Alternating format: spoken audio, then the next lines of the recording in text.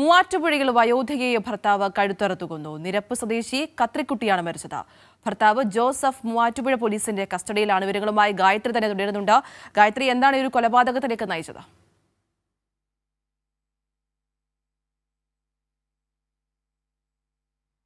അതിര ഇന്നലെ രാത്രി പതിനൊന്നരയോട് കൂടിയാണ് ഇത്തരത്തിലൊരു കൊലപാതകം മൂവാറ്റുപുഴ നിരപ്പിൽ സംഭവിക്കുന്നത്. എൺപത്തിയെട്ട് വയസ്സുള്ള ഭർത്താവ് ഭർത്താവ് ജോസഫ് കിടപ്പ് രോഗിയായ തന്റെ ഭാര്യയെ കത്തിരിക്കുട്ടിയെ കഴുത്തറുത്ത് കൊലപ്പെടു കൊലപ്പെടുത്തുന്ന ഒരു സാഹചര്യമാണ് ഉണ്ടായത്.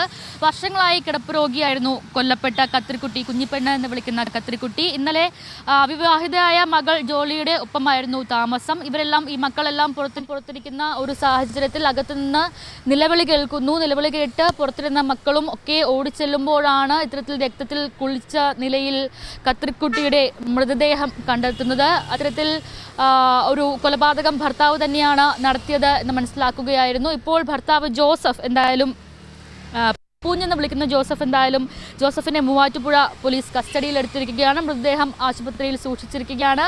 എന്താണ് കൊലപാതകത്തിലേക്ക് നയിച്ച കാരണം എന്നുള്ള വ്യക്തത വരേണ്ടതുണ്ട്. എന്തായാലും കിടപ്പ് രോഗിയായ എൺപത്തിയഞ്ച് വയസ്സുള്ള വയോധികയെ ഇത്രയും കാലം ഇയാൾ നോക്കി വരികയായിരുന്നു.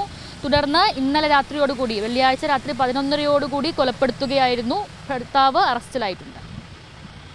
ശരി ഗായത്രി സത്യദേവാണ് സമഗ്ര വിവരങ്ങൾ നൽകിയത്.